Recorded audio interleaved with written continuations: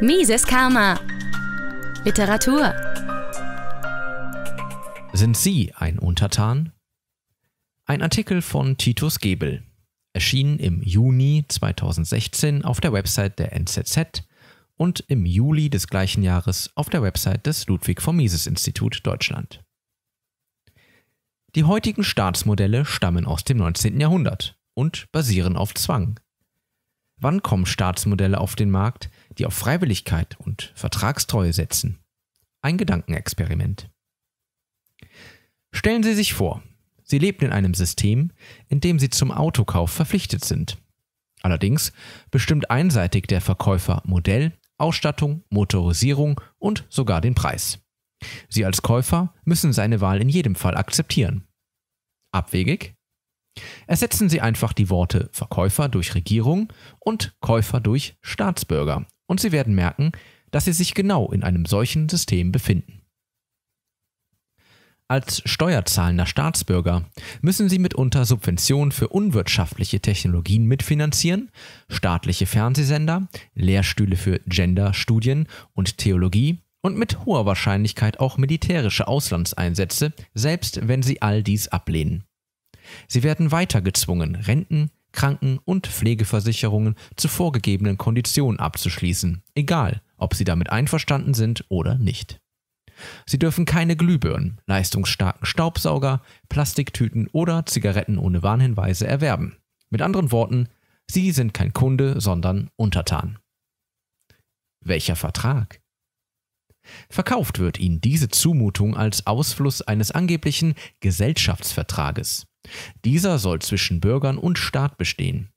Oder wenigstens sollen die Bürger untereinander einen solchen abgeschlossen haben, indem sie einen Teil ihrer Souveränität an den Staat abtreten. Nach dem Zivilrecht der meisten Rechtsordnungen westlichen Zuschnitts wäre höchst fraglich, ob ein solches Konstrukt, nennen wir es einen Unterwerfungsvertrag, mangels Bestimmtheit seiner Leistungen und Gegenleistungen überhaupt als Vertrag angesehen werden kann. Überdies gilt nach bürgerlichem Recht eine Vereinbarung, bei der nicht Einigkeit über alle wichtigen Punkte besteht, im Zweifel wegen Einigungsmangel als nicht geschlossen.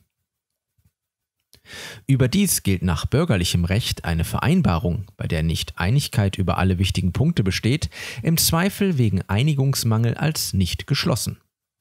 Ein Punkt ist in diesem Sinne wichtig, wenn auch nur eine von beiden Vertragsparteien ihn subjektiv als wichtig erachtet. All das spricht gegen das Vorliegen des behaupteten Gesellschaftsvertrages. Da diese Einwände nicht schlüssig ausgeräumt werden können, wird angeführt, durch physischen Verbleib des Bürgers in einem bestimmten Staat würde seine konkludente Zustimmung zur jeweils geltenden Gesellschaftsordnung erfolgen.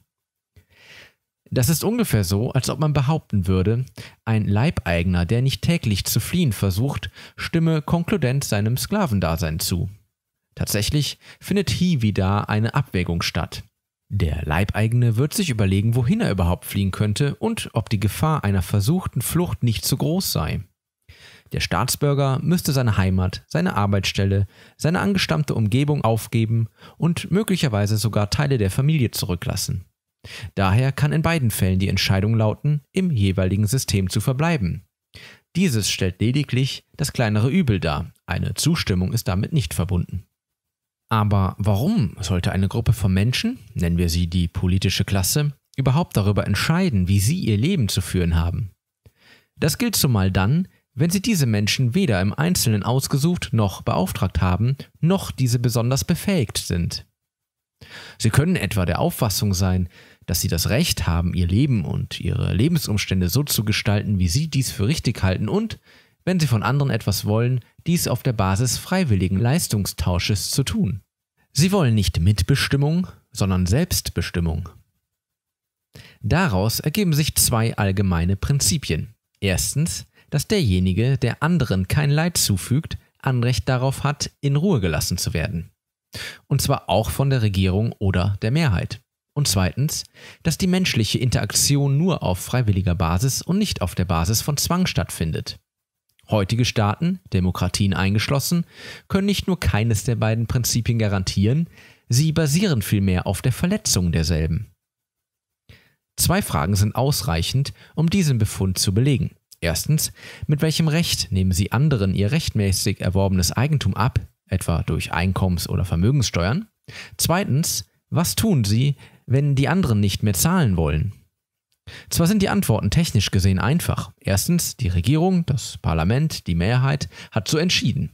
Zweitens, die Regierung enteignet sie. Aber faktisch ist das nichts als Raub, gestützt auf das Recht des Stärkeren.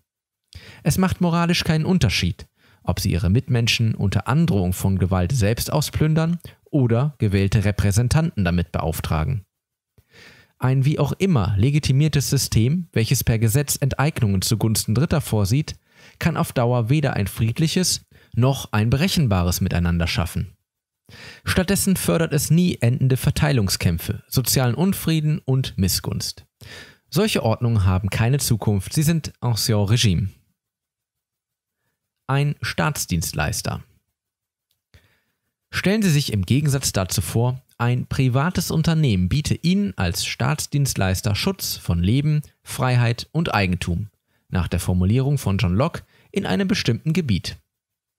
Diese Leistung umfasst etwa Polizei, Feuerwehr, Notfallrettung, einen rechtlichen Rahmen sowie eine unabhängige Gerichtsbarkeit.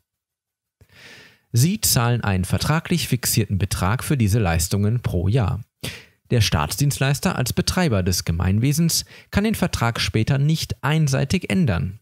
Sie haben einen Rechtsanspruch darauf, dass er eingehalten wird und einen Schadensersatzanspruch bei Schlechterfüllung. Um alles andere kümmern sie sich selbst, können aber auch machen, was sie wollen. Und sie nehmen nur teil, wenn und solange ihnen das Angebot zusagt. Streitigkeiten zwischen ihnen und dem Staatsdienstleister werden vor unabhängigen Schiedsgerichten verhandelt, wie im internationalen Handelsrecht üblich. Ignoriert der Betreiber die Schiedssprüche oder missbraucht er seine Macht auf andere Weise, wandern seine Kunden ab und er geht in die Insolvenz. Alles, was wir vom Produkt- und Dienstleistungsmarkt her kennen, lässt sich auf unser Zusammenleben übertragen. Die enorme Vielfalt des Angebotes an Staatsdienstleistungen, das Recht, etwas nicht zu kaufen, was uns nicht gefällt, schließlich der Wettbewerb zwischen den verschiedenen Anbietern, der dafür sorgt, dass deren Leistungen immer billiger und immer besser werden. Das gilt auch für die soziale Absicherung. Es gibt aus Vergangenheit und Gegenwart zahlreiche Beispiele, wie diese ohne Zwang erfolgreich funktionieren kann, beispielsweise mittels kollektiver Selbsthilfeeinrichtungen. Im Zeitalter der Online-Vernetzung könnte diese eine neue Blüte erleben. Übrigens suchen sich auch weniger Begüterte ihr Auto lieber selbst aus, anstatt eines zwangsweise vorgesetzt zu bekommen. Der Staatsbürger wäre auf einmal umworbener Kunde, der jederzeit den Anbieter wechseln kann, anstelle einer stets verfügbaren Melkkuh, die sich den Weggang durch Wegzugsbesteuerung erkaufen muss. Anders als die Politiker des Ancien Regime, die Entscheidungen auf Kosten anderer treffen können, ohne den geringsten eigenen wirtschaftlichen Nachteil zu haben, wenn es schief geht, hat der private Staatsunternehmer Skin in the Game. Allein diese Tatsache diszipliniert ungemein. Der Betreiber ist Dienstleister, der sich Mühe geben muss und nicht einfach die Regeln zulasten der Kunden ändern kann, wenn es ihm gerade in den Kram passt. Der Wettbewerb wird dafür sorgen, dass es zahlreiche unterschiedliche Modelle des Zusammenlebens geben wird, für jeden Geschmack etwas Passendes. Die Grade an Freiheit, Innovation und Selbstverantwortung werden durchweg hoch sein. Und wem dies alles zu viel wird, geht einfach in All-Inclusive-Systeme, die einem sämtliche Entscheidungen abnehmen. Nach spätestens einer Generation dürften solche privaten Systeme wohlhabender, freier und friedlicher sein als alles, was wir bisher kennen. Die neue Heimat. Die Heimat im 21. Jahrhundert wird Wahlheimat sein.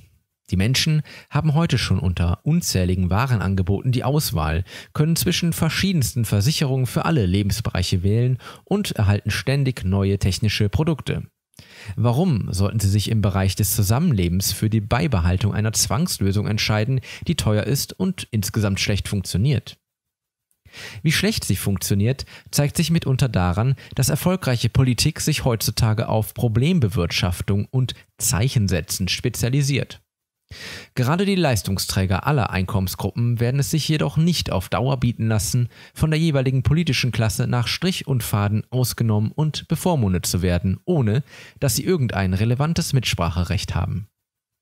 Private Gemeinwesen lösen dieses Problem, welche das Ancien-Regime systembedingt nicht lösen kann. Daher werden sie früher oder später auch entstehen.